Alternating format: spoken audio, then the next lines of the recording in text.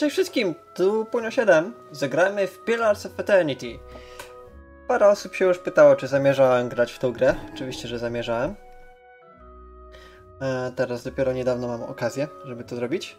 No i cóż, e, grałem w tą grę około 10 godzin, żeby się z nią zapoznać, o co chodzi. A teraz, tak jak zapowiadałem, e, będę robił z niej let's play. Trochę taki w ciemno. Ponieważ niestety nie mam czasu, żeby przejść tej gry, a potem e, również ją nagrywać. Ta, takie życie. W razie, kto nie wie, co to jest Pillars of Eternity? To jest gra, która została z crowdfunding... Z crowd... W każdym razie została... Jak to słowo? Ufundowana na Kickstarterze. E, zebrała jakieś 4 miliony dolców, ile się nie mylę. E, jest robiona przez Obsidian Entertainment, znany kiedyś również za, jak pod nazwą e, Black Isle Studios. Ludzie, którzy stworzyli Fallouta e, i serię Icewind Dale oraz byli, wy, byli wydawcą Baldur's Gate'ów, Neverwinterów. Tak, więc, więc ludzie, którzy znają się na rzeczy.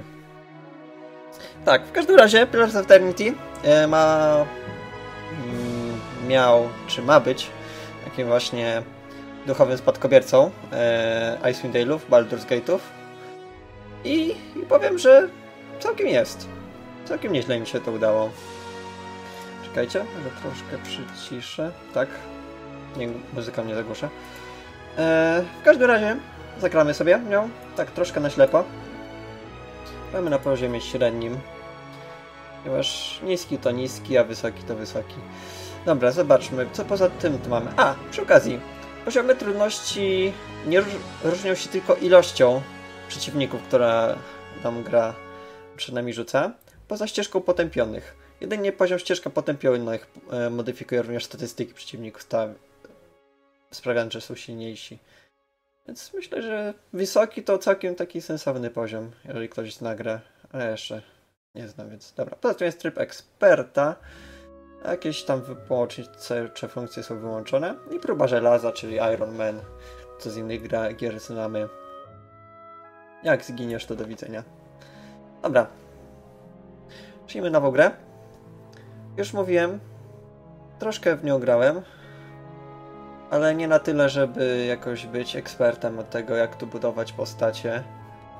E, więc, więc, więc. E, więc jeżeli ktoś będzie miał jakieś uwagi, co. E, jakieś uwagi co do buildów moich postaci, jakie będę tu tworzył, proszę bardzo, niech je umieszcza. Nie twierdzę, że umiem budować postaci, nie twierdzę, że że dobrze to robię i że to, co zrobię, będzie optymalne. Ale, ale jakoś, jakoś nam się uda. Dobra, zacząłem mówić o tym, że gram w tą grę. Five wagons mm -hmm. grope blindly for the path on a starless night. Their master glancing ever upward to the skies for assurance that he is on the right course. A dim lantern his only protection against the encroaching darkness. But the skies bring no comfort, shining no light, betraying no hint of what they know. The caravan carries travelers bound for the frontier hamlet of Gilded Vale, you among them, where a local lord has offered land and wealth to settlers from abroad looking for a fresh start. You have taken suddenly ill, sweating and shivering, and one of the other travelers signals for the caravan master to stop on your behalf.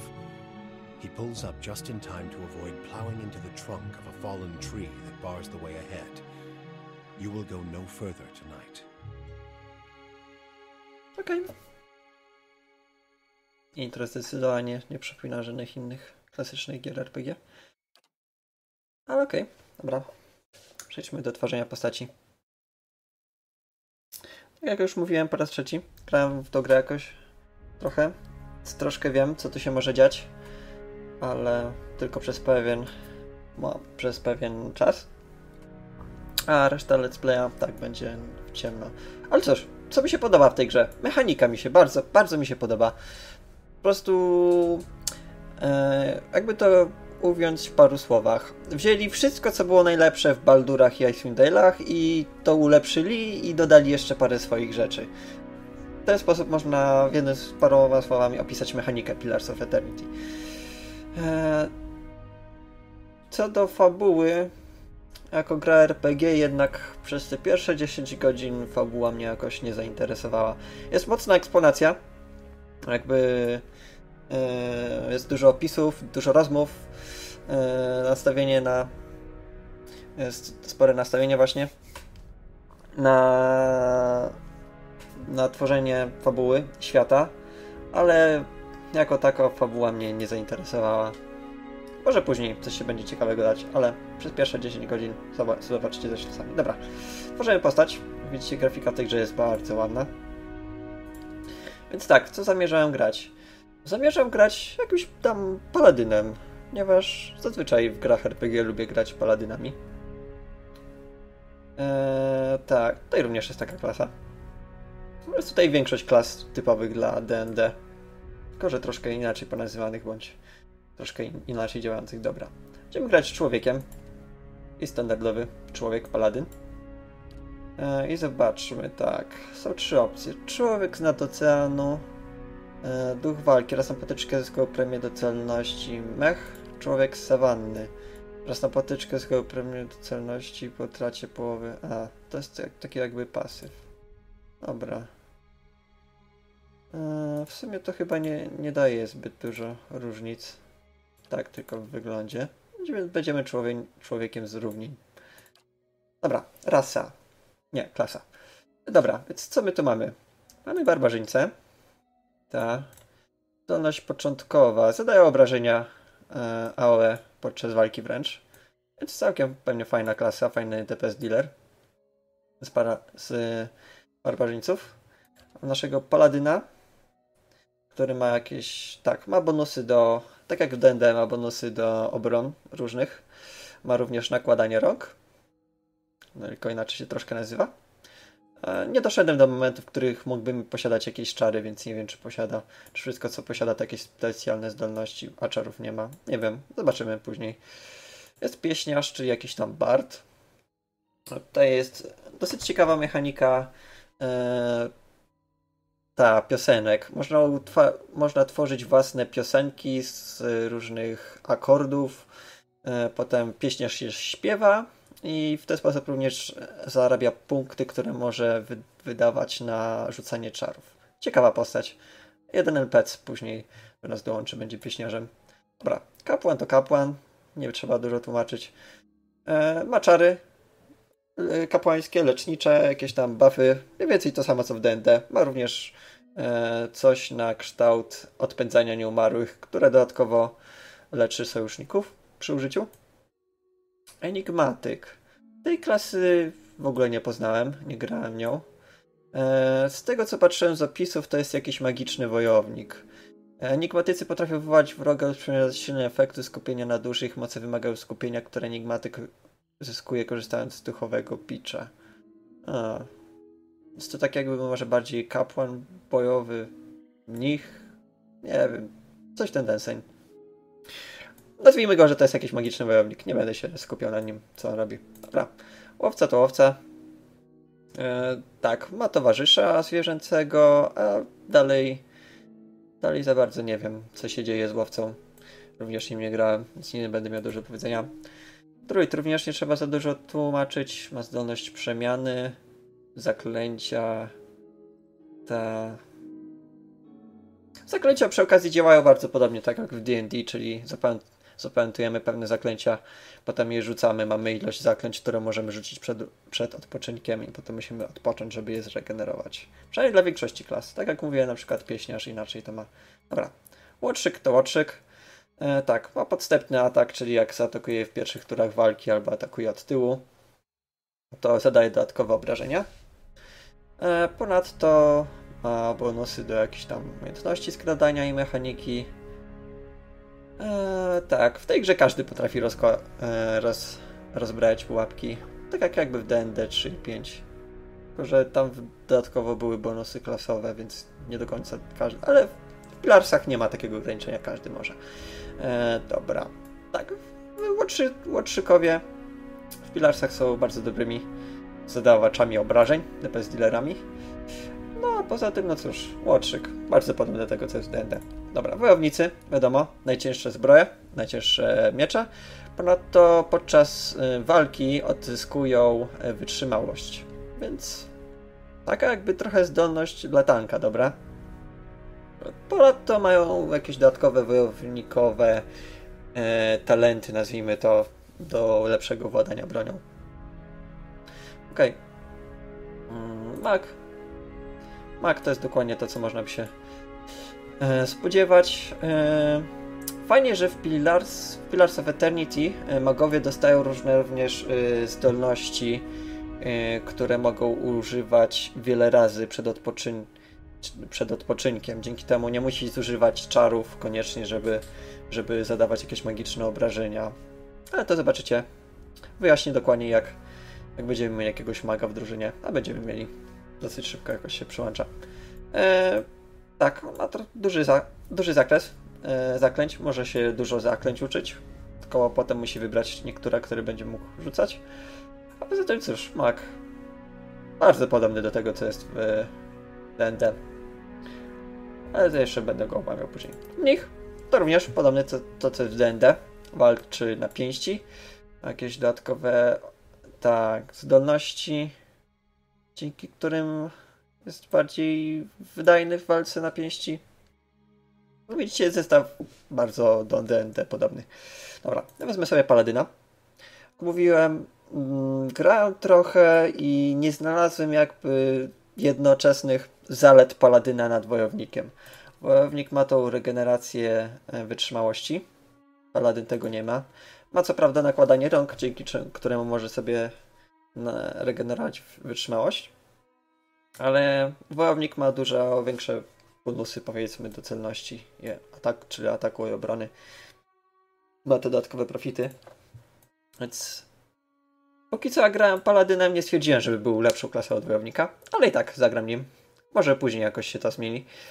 Eee, lubię takich paladynów, więc z ciekawości zagram. Dobra. Eee, teraz możemy wybrać eee, zakon. Wcześniej wziąłem tarczowników świętej Liki. Tutaj są właśnie e, preferowane usposobienia. Tak, za prowadzenie rozmów w odpowiedni sposób dostajemy punkty reputacji, na przykład uczciwość, dyplomacja, okrucieństwo i agresja. I w zależności od tego chyba niektóre zdolności paladyna działają lepiej, jeżeli nasza, nasza drużyna ma reputację zgodną z jego zakonem. Tak. Eee, więc zobaczmy. Wcześniej wziąłem tarczowników ale mi się nie podobali. Oni mają uczciwość i dyplomację, a z tego co ja prowadziłem rozmowy, woliłem być bardziej o życzliwy.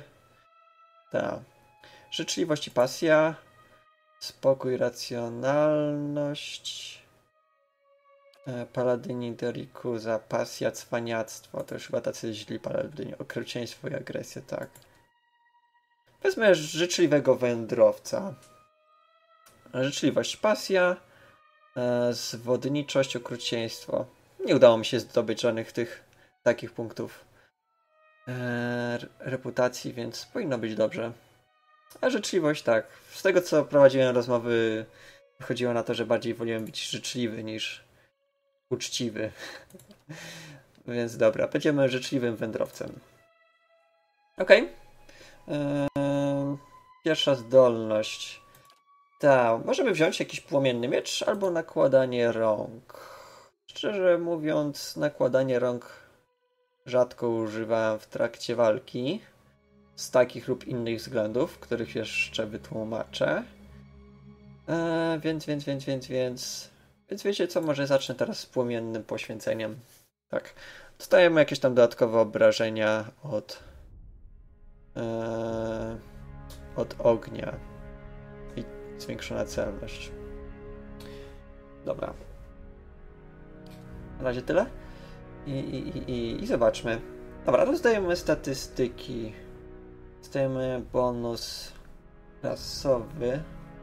do mocy i... E, dobra. Cecha bardzo przydatna dla paladyna, tak. E, co ja mówię? Dobra.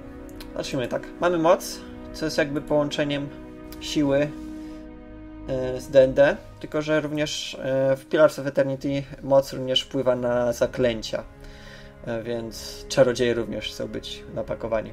Kondycja to wiadomo, zwiększa wytrzymałość i liczbę punktów życia wytrzymałości. Zręczność zwiększa tempo ataku i tam rzut, nazwijmy to rzut odpor, rzut obrony na refleks.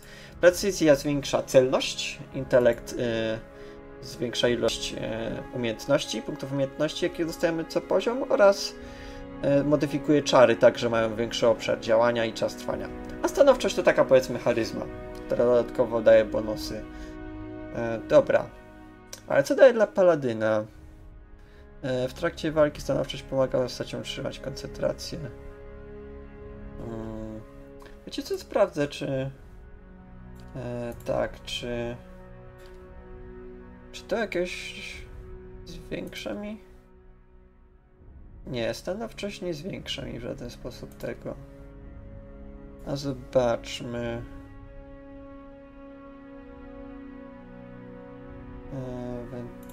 Jeszcze opis Paladyna sprawdzę dokładny. Wiara i przekonania. Paladin otrzymuje wrodzoną premię do wszelkich rodzajów obrony w trakcie gry. Siła tej zdolności może ulec dzięki reputacji. Okej, okay, nic nie pisze, żeby stanowczość zwiększała coś Paladynowi, więc nie wiem dlaczego jest oznaczona jako bardzo ważna. Eee, nie wiem, serio nie wiem. Dam 14 punktów stanowczości, ponieważ bardzo często się przydaje w rozmowach, przynajmniej 14 punktów, często widać opcje co dodatkowe. Mm, dobra, mocy dam 16, ponieważ to jest taka bazowa styka dla wojownika. Okay, kondycji gdzieś tak z 14. Intelektu dam również 12, ponieważ niektóre opcje dają da, wymagają dodatkowego intelektu. Dobra, mam jeszcze jeden punkt, który mogę wydać w percepcję. To nam da dodatkową celność. I wiecie co, chyba zmniejszę zręczność. To mi trochę zmniejszy tempo ataku. A dam dodatkową percepcję. Żebym trochę miał dodatkowej celności. Będziemy troszkę wolniej atakować, ale, ale cel, celniej. Dobra, czy coś chce zmieniać? Tak, intelekt niby jest przydatny dla paladyna. E, to chyba tylko w kwestii rozmów. Bo jakby zdolności są w ogóle nieprzydatne dla, dla mnie, dla paladyna. Paladyn dla mnie to głównie wojownik. Niby modyfikuje również czary, ale jeszcze nie spotkałem, żeby paladyn miał czary. Więc może to też wpływa na zdolności paladyna. Okej, okay, dobra. Okej, okay, więc taki będzie mój build. Idziemy dalej. Możemy wy wybrać pochodzenie. A, właśnie. Edyr wędrująca. To będzie dodatkowy dodatkowy punkt dla mnie. Okej, okay, dobra. To będzie 15 punktów stanowczości, jeżeli wybiorę to pochodzenie. Tak, tak jak mówiłem, 14 powinno mi wystarczyć, więc troszkę to zmodyfikuję. Mam 14. I może ten punkt właśnie do zręczności. Co ja mógłbym zwiększyć moc albo kondycję? Aha. Co chcę zwiększyć? Eee, moc czy kondycję? Może zwiększę kondycję ko kosztem zręczności. Eee, budowałem Paladyna tak głównie biorąc pod uwagę go jako tanka. Nazwijmy to. Więc kondycja może bardziej mi się przyda. Okej. Okay. Troszkę mnie boli, że będę miał mało stanowczości, ponieważ ogranicza to mi e, rozmowy, zdolność by rozmów, ale, ale cóż no. Paladyn jednak idzie w pierwszym szeregu, więc troszkę dobrze, żeby miał coś poza ładną buźką. E, dobra. Biografia, arystokrata. Dobra, co daje nam? Wiedzę plus dwa. Atletyka, przetrwanie, duchowny, wiedza plus dwa. A, to również dają wiedzę. To są zdolności, które jeszcze omówię. Wcześniej wziąłem arystokrata, więc w sumie, w sumie czemu by nie. Mm, I dobra. Tak, ten portret całkiem pasuje. E, troszkę mi przypomina Anomena z, e, z Baldur's Gate'a, ale wiecie co zmienię. Portret był tutaj taki całkiem fajny. O ten. Dobra, i teraz się troszkę dostosujmy do tego. Hmm. Zmienimy kolor na niebieski. E, skóra jest ok, włosy będą blond. Ta, śliczny zarost. A znajdziemy jakąś taką delikatną brudkę, tak jak... No, trochę nie pasuje. Ale to chyba najbardziej odpowiednie do portretu, co możemy znaleźć. Okej, okay, tak też może być. E, włosy. Takie krótkie, zaczesane na bok. Zobaczmy, czy znajdziemy coś takiego. A, nie, czekajcie. Nie chcę tego zaraz tam na bok obrody. Zdecydowanie nie. Okej. Okay. Tak sarmacko wygląda. Z tymi wąsami. Eee... Powiedzmy, że to też wygląda. Teraz znajdźmy mu jeszcze włosy, żeby pasowały. Eee, wszystkie są takie eee, rozczochrane. Nie ma żadnej takiej uporządkowanej, krótkiej fryzury.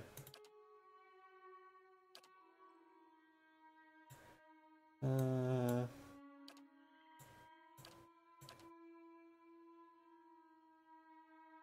Wiecie co, to chyba najbardziej odpowiada temu, co mamy na, portret, na portrecie. A, okej, okay, to też to mi odpowiada. Okej. Okay. Dobra, zobaczmy, co jeszcze możemy zmienić. Bardziej stanowczy wzrok. Dobra. To będzie nasza postać. W następnym odcinku ruszamy tą postacią... A nie, czekajcie, jeszcze... Jeszcze nie, jeszcze nie, jeszcze nie skończyliśmy. What is it? Weźmy sobie jeszcze... Jeszcze... I'll take a peek. E, głos? Yes? Leading the way. Easy now. Hmm? Watch and learn. I'll take a peek. Okej. Okay. Nazywał się Punio. Dobra. W następnym odcinku e, zabierzemy Punia w e, przygodę w świecie magii, miecz, bla bla bla bla bla. W każdym razie zaczniemy grę. Dziękuję wszystkim za uwagę i na razie. Cześć.